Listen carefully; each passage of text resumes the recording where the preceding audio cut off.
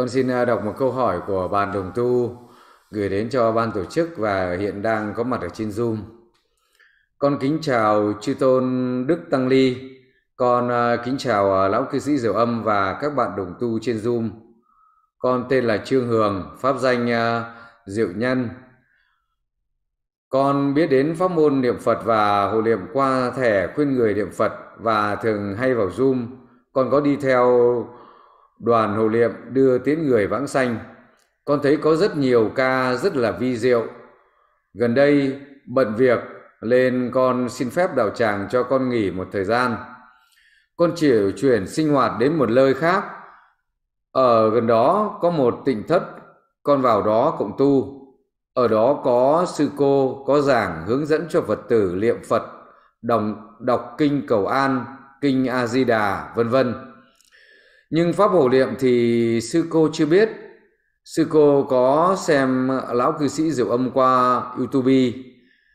Con giới thiệu vào đường Zoom cho nhưng sư cô giờ cộng tu trùng với giờ trên Zoom, mà sư cô là người dẫn chúng lên không vào Zoom được.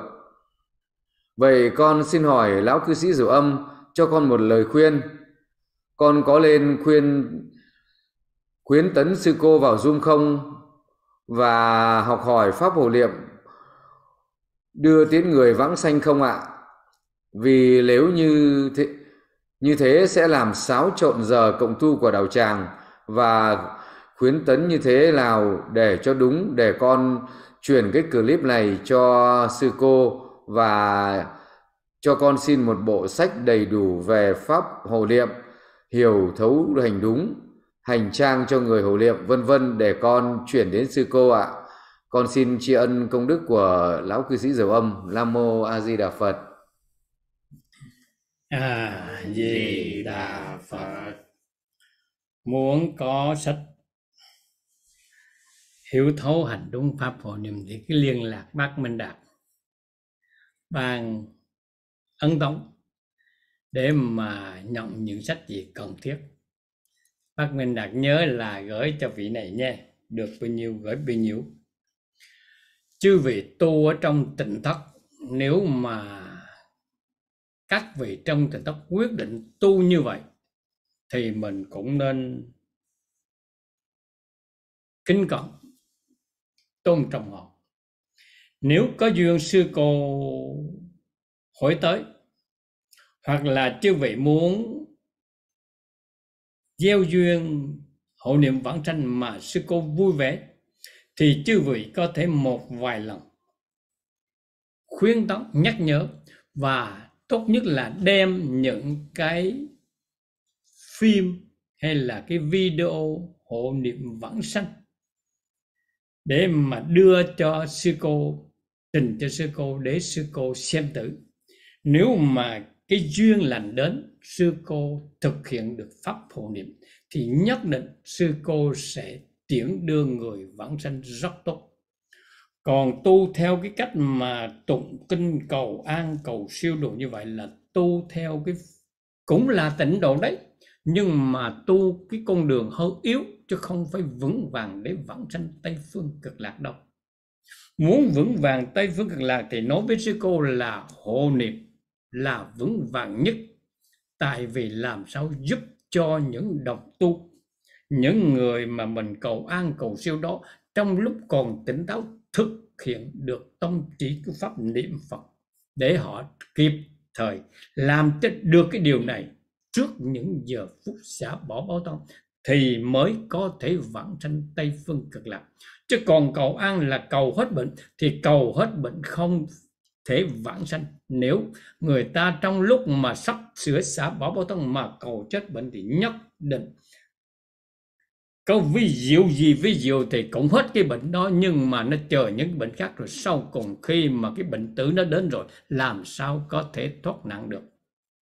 Chính vì thế mà mong chư vị nói là, thực ra niệm phật vãng sanh, người nào cũng có thể thực hiện được, nhưng mà thực hiện cho được cái lúc trước lâm chung mới có thể được vãng sanh. Chứ hôm nay chúng ta niệm phật, có thể buổi trưa thì chúng ta niệm kinh a di đà buổi chiều chúng ta kinh niệm kinh phổ môn, rồi buổi tối chúng ta niệm cái thì cái phước báu rất tốt đối với chúng ta. Nhưng mà phước báo đó không phải để vãng sanh tây phương cực lạc, mà điều kiện trở về tây phương cực lạc là người phải tin tưởng pháp môn niệm phật, phải thành tâm niệm phật cầu nguyện vãng sanh và làm cho được trước khi xả bỏ báo tông thì người đó mới được vãng sanh. Cho nên nhắc nhở với cô là hộ niệm vô cùng quan trọng đối với phật tử đồng tu, nghiệp chứng sâu nặng, tâm ý mê mờ. Nếu không hộ niệm, không ai có thể làm nổi.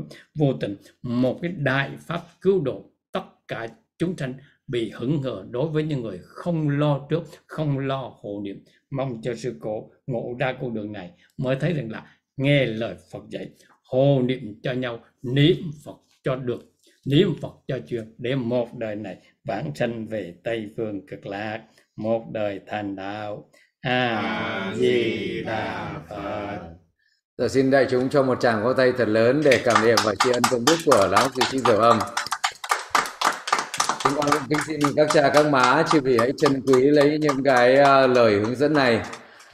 À, nếu mà chư vị nào mà chưa có điều kiện để mà nghe nhiều lần thì ban tổ chức chúng con cũng có đều lưu tất cả những cái video, những cái buổi hội thảo, những cái buổi à, thực tập hộ niệm này ở trên các kênh uh, YouTube để cho chư vị có thể xem lại được nhiều lần và trong ờ, các trang mạng của ban tổ chức Viber cũng như là Zalo đều có đăng lại những cái tọa đàm này để cho chúng ta có thể nghe đi nghe lại nhiều lần. Xin các cha các má hãy cố gắng bỏ thời gian ra để cùng học tập, nghe đi nghe lại chính là để áp dụng cho mình một đời này tránh đi được sơ suất, một đời này tăng trưởng niềm tin và một đời này chúng ta vững vàng pháp hộ niệm. Sau cùng chúng ta gặp được ba hồ niệm, hộ niệm cho chúng ta thì cơ hội chúng ta vãng sanh rất là cao. Dạ, Nam Mô A Di Đà Phật.